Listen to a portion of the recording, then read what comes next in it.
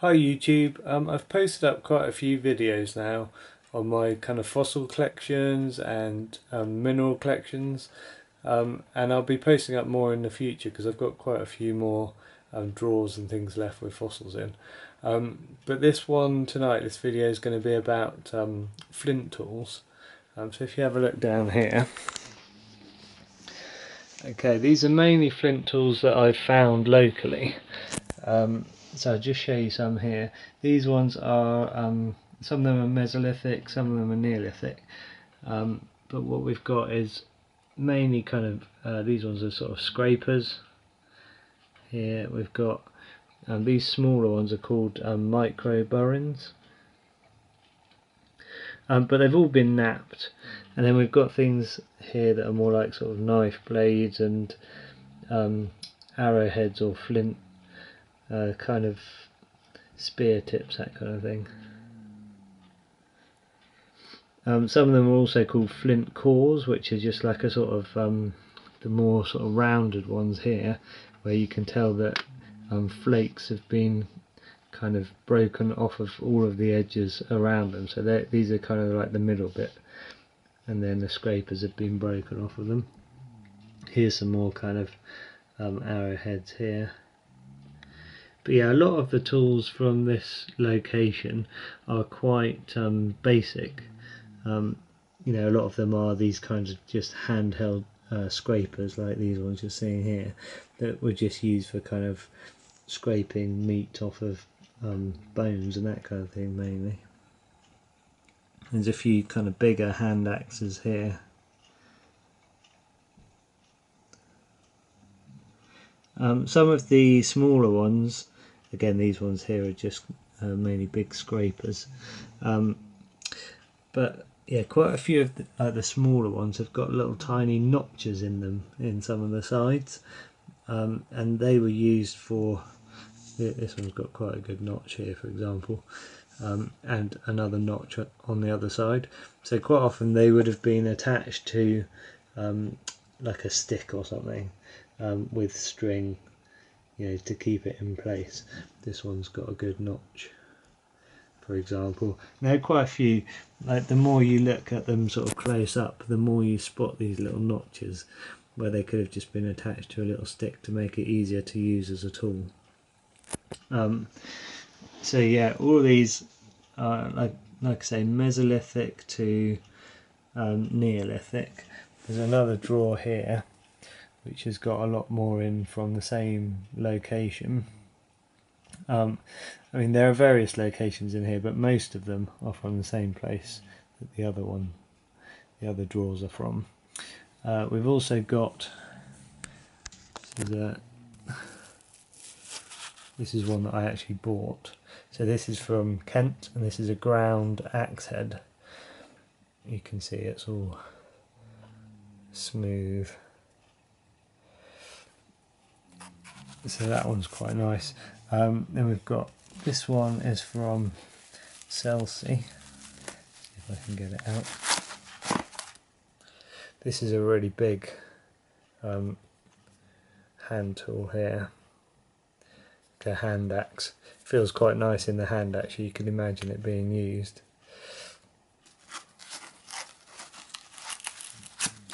Um, and then there are quite a few other little things that I've bought over the years. So um, these ones here are from Namibia, um, and these are um, little spear tips and arrowheads. Um, so some of these they've got like a lot of knapping on them. You can see lots of little tiny notches in them. So that, so that is, and then we've got these arrowheads which are um, notched which are really nice. Um, a lot of detail in those ones. Okay and the Namibian ones those are um, middle Paleolithic. Um, those arrowheads are also called hollow base arrowheads. Um, so they are 280,000 to 50,000 years old. Um, and we've got some down here. Uh, these are archaic Native American Indian. Um, well, they're called arrowheads, but they reckon actually mainly they weren't used as arrowheads. They were, you know, the notches that are on them were just again used for just attaching them to a stick with a bit of string or something, and then they were just used in the hand mainly.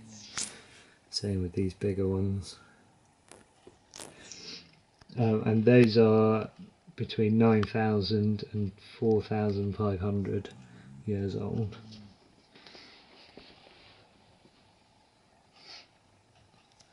Okay, and I've got some other uh, ones from another location here. Again, mainly like scrapers. You can see the knapping in them.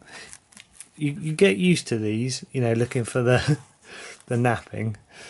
Um, some some of the knapping is more obvious than others. Um, so let me get out. This is a particularly good one. See if I can hold it and show you it. Okay, so you can see the various faces of it, uh, and you can see that it uh, is very sharp. You know, I've cut myself on these a few times. You've got to be careful. Um, but yeah, they've all they all show that kind of um, knapping. This is a good one look, because you can see on this side, see the curves there, and then on this side, you've got the various kind of faces. So loads of knapping on this one. This is a particularly good one. Um, obviously, the more knapping you can see, the more obvious it is that it's a tool. But when you get used to it, you can see even some of the um, the more basic ones where they've only been hit a few times you can still see that they've been knapped it just takes a bit of practice um, spotting the ones that are uh, are real. But the location where I got a lot of these from you don't actually it's not a natural location where you find flint. So you know basically that anything that you find that is a flint uh, you know came from somewhere else was brought in. Makes it a lot easier to know that what you're looking at is probably going to be something. And just the fact that I found so many you know good ones in this location um, that basically anything that I spot that is a flint I collect at the moment.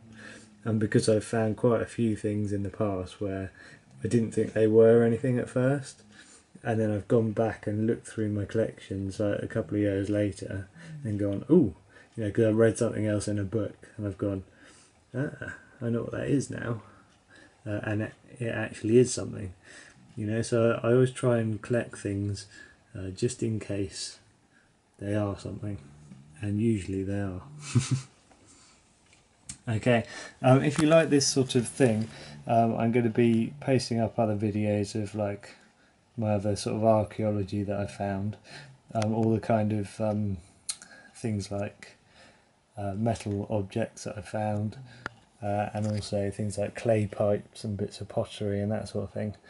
Um, I'll be posting that up in a separate video.